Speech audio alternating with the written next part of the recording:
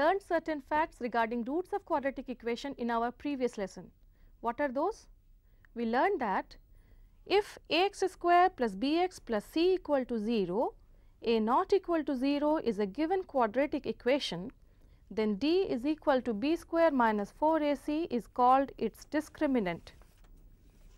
If d is greater than 0, then the equation will have real and distinct roots alpha and beta given by alpha is equal to minus b plus under root of b square minus 4ac upon 2a and beta is equal to minus b minus under root of b square minus 4ac upon 2a. If d is equal to 0, then the equation will have real and equal roots namely minus b upon 2a. If d is less than 0, then the equation will have no real roots.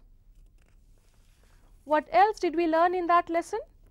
We also learned to find the sum and the product of the roots of a given quadratic equation without actually finding out the roots.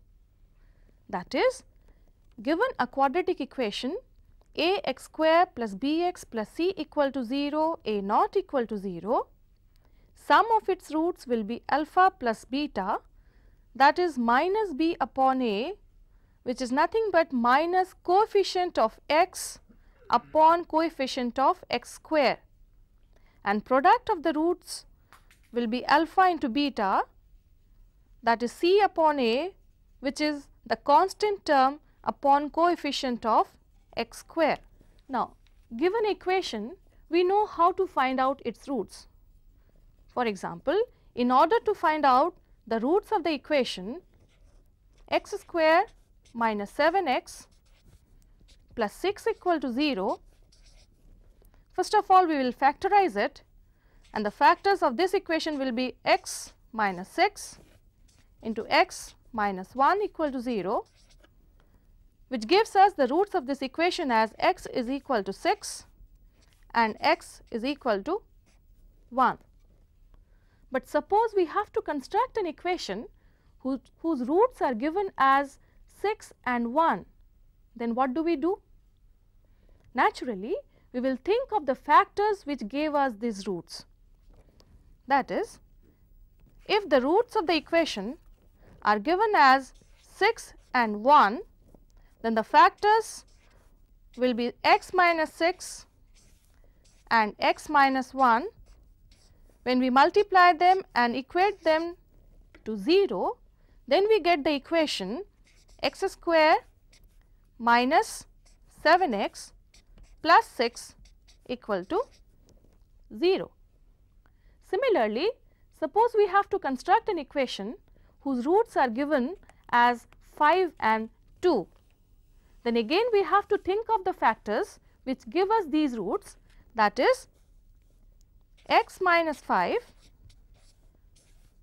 into x minus 2 and when we multiply them and equate it to 0 we get the equation as x square minus 5x minus 2x plus 10 equal to 0.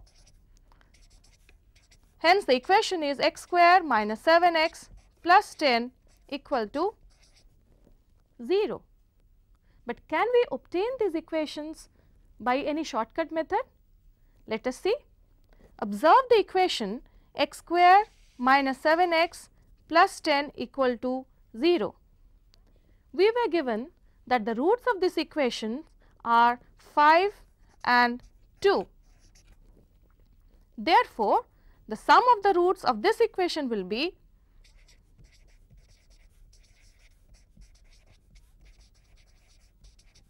5 plus 2 which is equal to 7 and the product of the roots of this equation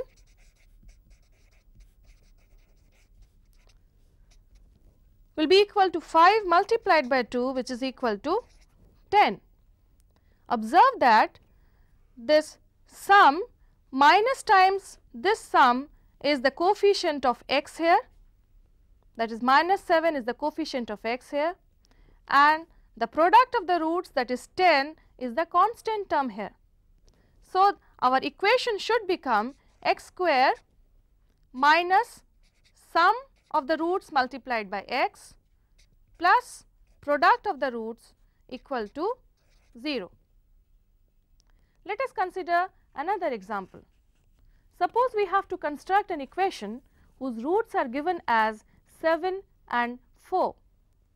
Again the factors of these giving these roots will be x minus 7 into x minus 4 equated to 0 we get the equation x square minus 11 x plus 28 equal to 0. Again observe that the roots of this equation was given as 7 and 4. So, sum of the roots of this equation will be 7 plus 4 equal to 11 and the product of the roots of this equation will be 7 into 4 that is is equal to 28. What do we observe? We observe that that minus times the sum of the roots here is the coefficient of x and the product of the roots that is 28 is the again the constant term here. So, again we can say that given the roots of the equation, the equation will become x square minus sum of the roots into x plus product of the roots is equal to 0. Consider the equation ax square plus bx plus c equal to 0 where a is not equal to 0. This equation can also be written as x square plus b upon a into x plus c upon a equal to 0 which can be further written as x square minus minus b upon a into x plus c upon a equal to 0. Now, observe here that the coefficient of x here is nothing but minus minus b upon a which is minus sum of the roots and the constant term here is c by a that is product of the roots.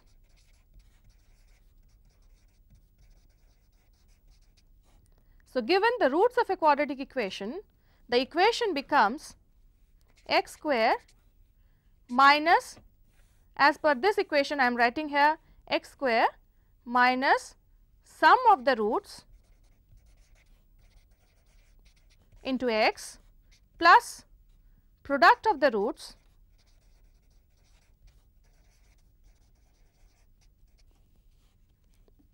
equal to 0. Now, let us construct a quadratic equation one of whose roots is 2 minus under root of 7.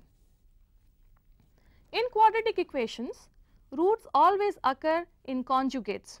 So, if one of the roots of the quadratic equation is 2 minus under root of 7, then the other root will obviously be 2 plus under root of 7. So, now if we have to construct the quadratic equation whose roots are 2 minus under root of 7 and 2 plus under root of 7, then first of all we have to find out the sum of the roots. The sum of the roots in this case will be 2 minus under root of 7 plus 2 plus under root of 7 which is equal to 4 and the product of the roots will be equal to 2 minus under root of 7 into 2 plus under root of 7 which is equal to 4 minus 7 that is, is equal to minus 3 and hence as per our earlier result the equation will become x square minus sum of the roots that is 4 into x plus product of the roots that is minus 3 equal to 0 or we can further write it as x square minus 4 x minus 3 equal to 0. Thus, we found that given a quadratic equation we can find out its roots and alternately if the roots of a quadratic equation are given we can find out the equation itself or we can construct the required equation. Now, sometimes we may be given one equation and we have to construct another equation whose roots are related to the roots of the given equation. For example, suppose we are given the equation 2x square minus 7x plus 6 equal to 0. Suppose we have to construct another equation whose roots are twice the roots of this given equation. Now, one way to solve this equation will be to find out the roots of this given equation, double it and then find out the sum and the product of the roots of the required equation and then construct the equation. Do not you think that will be a very lengthy method? So, let us try to find out a shortcut method. Now, we are given this equation 2x square minus 7x plus 6 equal to 0. Let the roots of this equation be alpha and beta. Then sum of the roots of this equation will be equal to alpha plus beta which is equal to minus b upon a that is minus minus 7 upon 2 which is equal to 7 upon 2 and the product of the roots of this equation will be equal to alpha into beta which is equal to c upon a that is 6 upon 2 which is equal to 3. What do you think will be the roots of the required equation? Naturally, they will be 2 alpha and 2 beta. So, the sum of the roots of the required equation will be equal to 2 alpha plus 2 beta which is equal to 2 times alpha plus beta that is 2 times. Now, we know that alpha plus beta is equal to 7 upon 2. So, we can replace alpha plus beta by this value. So, we get 2 times 7 upon 2 that is, is equal to 7. Also, product of the roots of the required equation will be equal to 2 times alpha into 2 times beta that is is equal to 4 times alpha into beta, but we know that alpha into beta is 3. So, replacing alpha into beta by this 3 here we get 4 multiplied by 3 which is equal to 12. So, now we have the sum of the roots of the required equation as 7 and the product of the roots of the required equation as 12. So, can we construct this equation now? Yes, the equation in this case will be x square minus sum of the roots of the new equation is 7. So, 7x product of the root of the new equation is 12. So, that is 12 equal to 0. So, this is our required equation. Now, suppose we are given equation 3 x square minus 7 x minus 6 equal to 0 and we have to construct another equation whose roots are reciprocal of the roots of this equation. So, what do we do? Again let us suppose that the roots of this equation be alpha and beta. Then sum of the roots of this equation will be alpha plus beta which is equal to minus b upon a that is minus of minus 7 upon 3 which is equal to 7 upon 3 and product of the roots of this equation will be c by a that is minus 6 upon 3 which is equal to minus 2. What do you think will be the roots of the required equation? Naturally, they will be 1 upon alpha and 1 upon beta because they are reciprocal of the roots of the given equation. So, sum of the roots of the required equation in this case will be 1 upon alpha plus 1 upon beta that is equal to taking LCM alpha into beta we get beta plus alpha or it can also be written as alpha plus beta upon alpha beta. Now, from this earlier result we have alpha plus beta is 7 upon 3 and alpha into beta is minus 2. So, replacing alpha plus beta by 7 upon 3 here and alpha into beta by minus 2 here we get the sum of the roots of the required equation as 7 upon minus 6 or I can write minus 7 upon 6.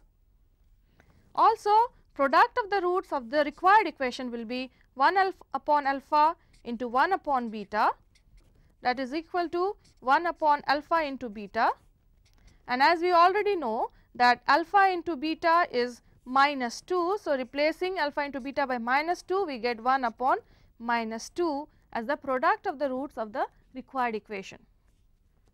So, now we have the sum and the product of the roots of the required equation. Can you construct the equation now?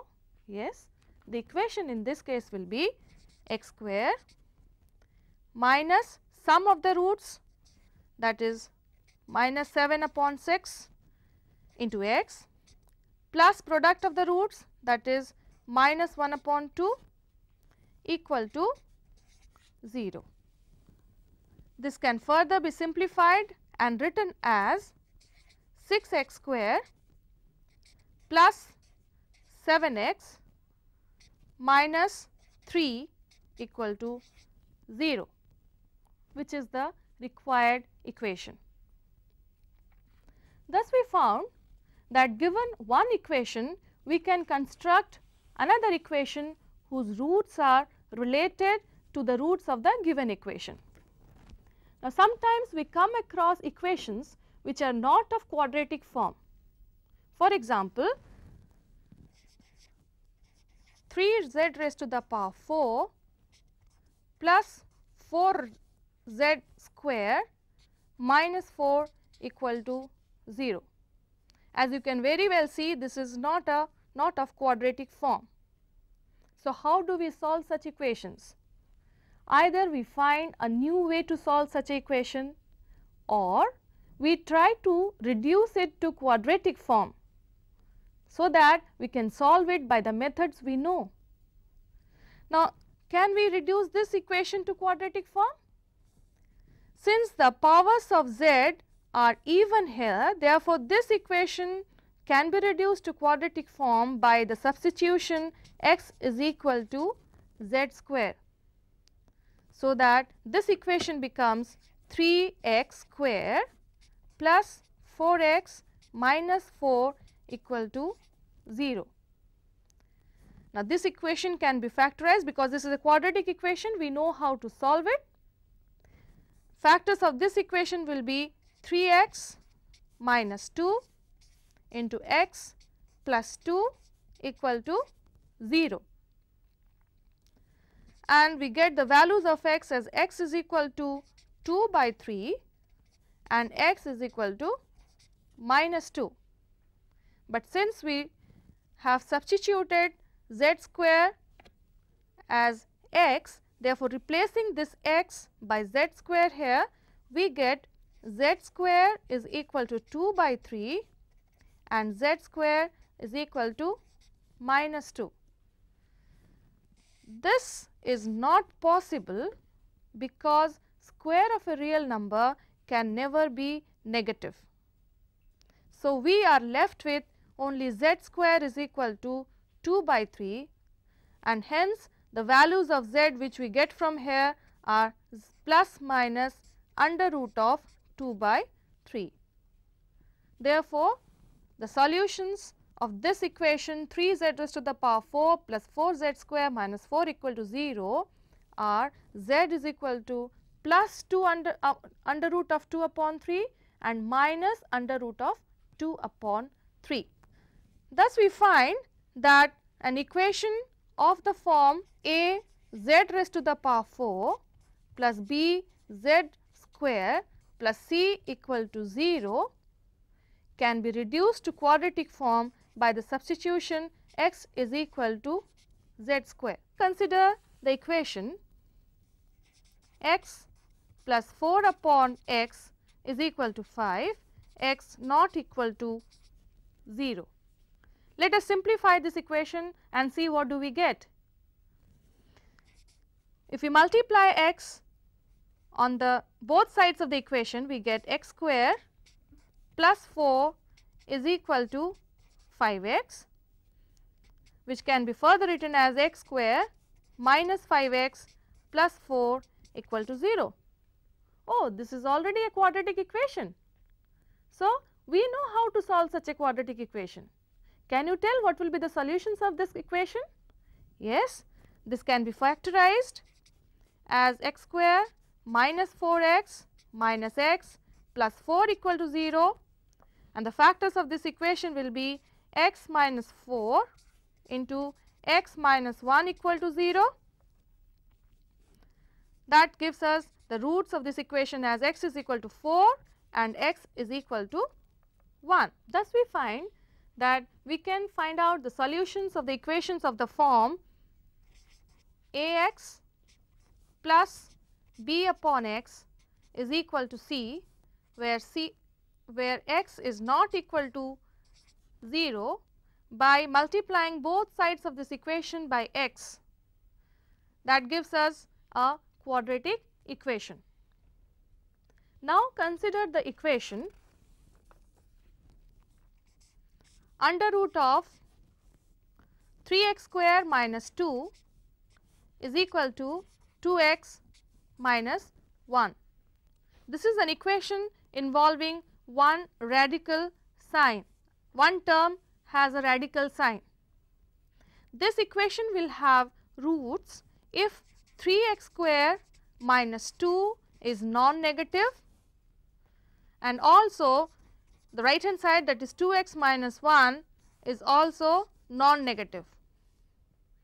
That is if 3x square is greater than or equal to 2 and 2x is greater than or equal to 1 or we can say if x square is greater than equal to 2 by 3 and x is greater than equal to half. Thus, you saw that we can find solutions of some equations which are not of quadratic form by reducing them to quadratic form. We will take up a few more such problems in our next lesson, but before we finish this lesson, let us have a quick recapitulation of what all we learnt in this lesson. We learned that given the roots of a quadratic equation, we can construct that required equation. We also learned that given an equation, we can construct another quadratic equation whose roots are related to the roots of the given equation. We also learned to find the solutions of an equation which is not of a quadratic form by reducing it to quadratic form. So, now the here are some problems for you, solve them. These problems will help you to clear the concepts which we have learnt here today. The problems are if one of the roots of the quadratic equation x square plus 4x minus p equal to 0 is minus 7, find the other root, also find the value of p. Next question is if alpha and beta are the roots of the quadratic equation 2x square minus 7x plus 5 equal to 0, then find the value of alpha upon beta plus beta upon alpha. Also find the value of alpha cube plus beta cube. Next question is if alpha and beta are the roots of the quadratic equation x square minus 8x plus k equal to 0, find the value of k such that alpha square plus beta square is equal to 40. Another question is construct the quadratic equation whose roots are 3 and minus 6, 1 plus under root 2 upon 2 and 1 minus under root 2 upon 2.